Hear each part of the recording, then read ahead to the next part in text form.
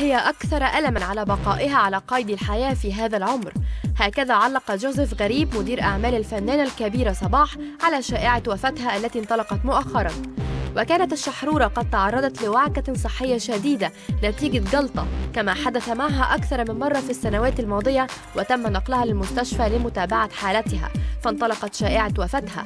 أكد جوزيف أن صباح حالتها الصحية مطمئنة بعد تلقيها العلاج اللازم وأضاف أنها ملت الحياة وتتمنى أن ترتاح اليوم قبل الغد.